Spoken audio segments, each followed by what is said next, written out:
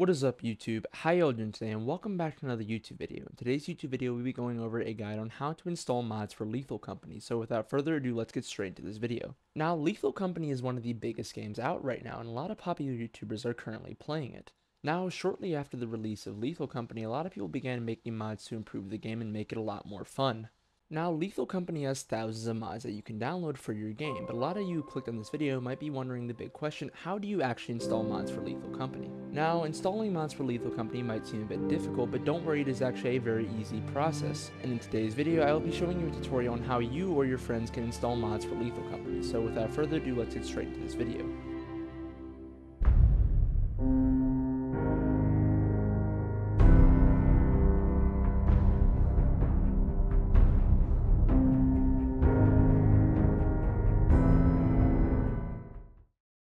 So the first thing you need to do when installing mods for Lethal Company is install Overwolf. So Overwolf is a trusted software not only used by Lethal Company but also Valorant, Minecraft, and also Sons of the Forest. That being said, I do recommend you check what you download from the internet, but in this scenario, Overwolf is a pretty safe software. So the first thing you are going to want to do when installing Overwolf is go to your preferred web browser and look up Overwolf. It should be the first thing that pops up.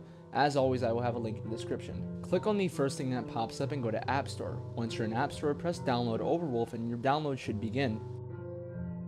Once the download is finished, double click on Overwolf and run the installation process. Once you've done that, Overwolf should be successfully installed. Open up Overwolf and navigate up to the top of the main screen and click on Apps.